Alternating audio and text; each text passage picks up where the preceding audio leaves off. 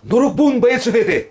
Astăzi facem ciorbă rădăuțană. Da, da, da, da, facem o lecuțică de ciorbă rădăuțană. Era să zic borș rădăuțan, dar nu se poate că nu, nu punem borș în el, așa că este ciorbă rădăuțană. Uh, Vreau să zic încă de la început că nu, nu o să fie o rețetă originală de ciorbă rădăuțeană, pentru că rețeta de ciorbă rădăuțeană este una dintre puținele rețete la care știm autorul. Toată lumea cunoaște creatoarea acestei rețete, doamna Cornelia Dumitrescu. Trebuie să-i dau credit dumneei pentru că a inventat această minunată ciorbă. Cum ziceam, rețeta mea nu o să fie una motamo uh, cu rețeta doamnei, din cauza că nu că n-ar fi pe placul meu, ci pur și simplu eu o să fac rețeta asta de ciorbă rădăuțeană, fix așa cum fac rețeta de ciorbă de burtă, numai că în loc de burtă și de vită o să adaug uh, pui. Atâta tot. Așa că una și una face două, îi dăm drumul la treabă. Uite, avem aici o oală și agregatul. Deocamdată nu dau foc la agregat, că vreau să vă zic ceva. Eu am luat un pui, un pui întreg. L-am început frumos și aici am rămas cu aripile, cu coașca, cu spatele puiului și cu uh, osul de la piept. Și mai am inclusiv niște piele luate de pe piept. Cu știluc, cu toate oasele astea aici. Și bineînțeles că am aici și pieptul. Pulpile le-am păstrat, le-am pus în congelator. Deci astăzi pentru rețeta mea voi folosi un pui întreg fără pulpi. Pieptul dezosat îl lăsăm deocamdată deoparte, restul îl punem într-o oală. Am umplut oala asta pe trei sferturi, uite așa frumușel, îi dau foc și aducem toată treaba la punctul de clocotire. De ce am umplut-o pe trei sferturi și nu plină? Pentru că eu mai întâi de toate vreau să aduc carnea asta la clocot, la punctul de fierbere. Vreau să o spumuiesc, să curăț toată spuma aia urâtă care iese, după care o să vreau să adaug niște legume. Și din cauza asta am pus apă doar trei sferturi, pentru că după ce adaug legumele, automat o să se umple oala de apă. Așa că ne vedem o lecuțică mai încolo după ce spumuiesc eu carnea asta. Bine, bine. Uite așa, dragilor, am spumuit bine, bine, bine, bine carnea. Ce am să fac în continuare? Am spus niște legume. Eu am aici vreo 2 morcovi, tăiet așa mai mare. Pac, pac, pac, pac, pac, pac. Cu știluc, cu știluc, cu știluc. Un păstârnac de la baban. Cu știluc, cu știluc, cu știluc. Tot tăiet așa, tot așa mai mare. Am niște beții de astea de țelină. Țac, țac, țac. Sau dacă ai beții de astea de țelină verde, pui. Dacă n-ai beții de țelină verde, pui țelină normală, rădăcină. Nici morcovul și nici păstârnacul nu l-am curățat. Absolut deloc, pentru că în coajă se află toată aroma. L-am spălat foarte, foarte, foarte bine. Și două cepi. Tăi de așa pe jumate, cu știluc. Tăgădăm, tăgădăm, tăgădăm căpăcel, dăm focul la mititel, mititel, mititel, mititel și lăsăm să fiarbă, zic eu, vreo oră și jumătate, cam așa, la foc mititel. Am lăsat eu să fiarbă cărnița și cu legumele, cred că să fiu sincer că am o oră 45 de minute. Ce am să fac în continuare? Am să scot tot ce înseamnă legume și carne. Cu știu că aici. Uite așa și am să strecor eu toată zama asta într-o altă oală. Așa, o strecor ca să fiu sigur că nu mai are nimic prin ea, știi? Uite așa frumos. Am readus agregatul, am pus oala asta la pe foc, vreo două, trei polonici de zamă am să pun într-o crăticioară dintre asta, uite aici, așa, uite așa frumos. Aici să vezi mai încolo o leacă de ce. Readucem toată treaba la punctul de clocotire. Când începe toată treaba clocotie, o să-i pun și niște sare.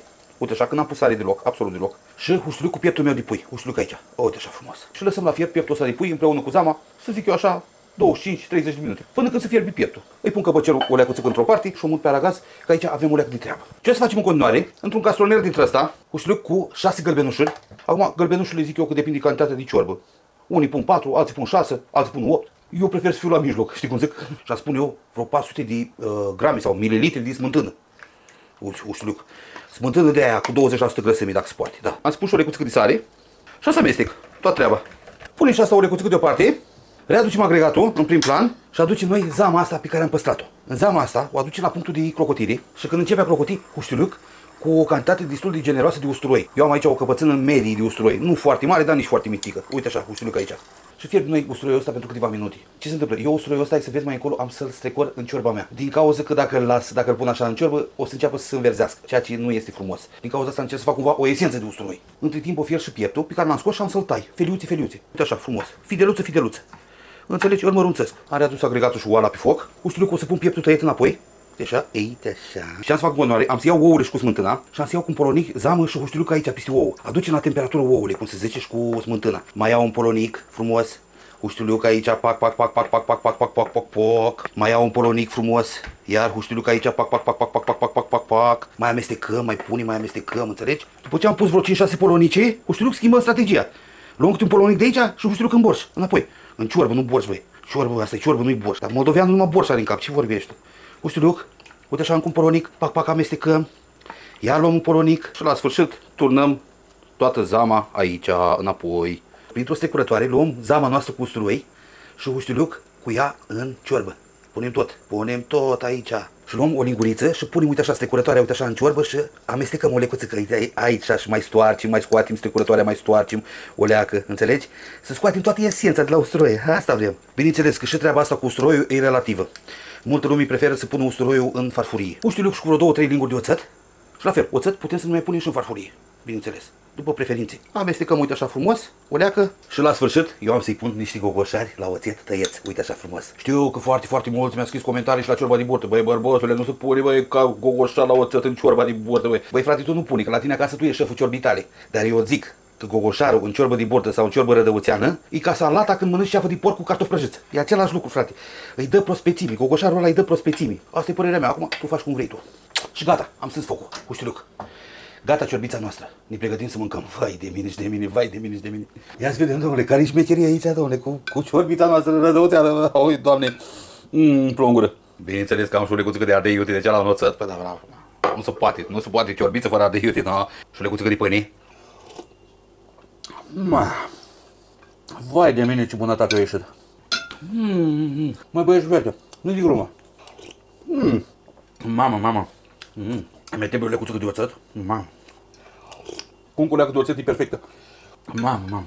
Mm. Bă, fraților, vă zic sincer, sincer, am făcut de multe ori ciorbița asta, dar niciodată nu mi ești așa, frate. Mm. Vai de mine. Ce vorbești, frate? Doamna Cornelia sărmă pentru masă. Îmi cer iertare că n-am respectat rețeta, dar am făcut-o după placul și asemănarea mea, dar ideea doamnei a fost genială atunci când a inventat-o, acum cât? 40 ceva de ani. Așa că una peste alta, dragilor, dacă doriți să mâncați o ciorbă rădăuțeană de la mama ei, singura șansă este să vă duceți la restaurantul național din Rădăuți și să o mâncați. Acolo unii doamna Cornelia cred și sper că încă mai profesează. Și dacă nu mai profesează și doamna o ieși la pensii că are o vârstă venerabilă, sunt sigur că o răsat rețeta pe mâini bune acolo la Rădăuți. Dar până ajungem la Rădăuți, e bună făcută și acasă, știi cum zic? Hai noroc și la mai mare, să ne auzim sănătoși. Tura viitoare. Vă pup!